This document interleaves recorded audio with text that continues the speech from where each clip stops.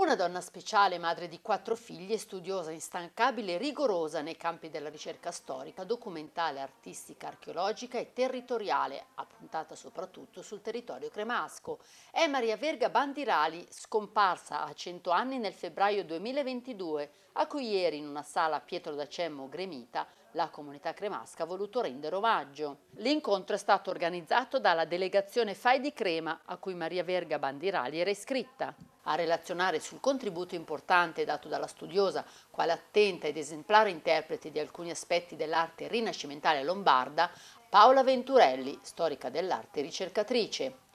Eh, la professoressa Maria Verga Bandirali è stata una grandissima, raffinatissima storica dell'arte e storica in generale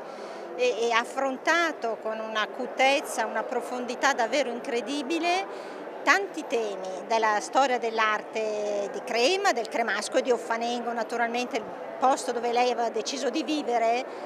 e alla quale ha dedicato tantissime energie appunto come studiosa. Fu infatti la fondatrice del Museo della Civiltà Contadina di Offanengo, un luogo fisico in cui si conserva la ricca memoria delle tradizioni e il recupero dei valori positivi di un mondo rurale a rischio dispersione, una figura dunque quella di Maria Verga Bandirali che rende onore e vanto alla sua patria, alla cui valorizzazione ha dedicato una parte importante della propria attività, come insegnante e come studiosa. E quindi sono particolarmente felice, ringrazio appunto sia il museo, l'assessora, il FAI,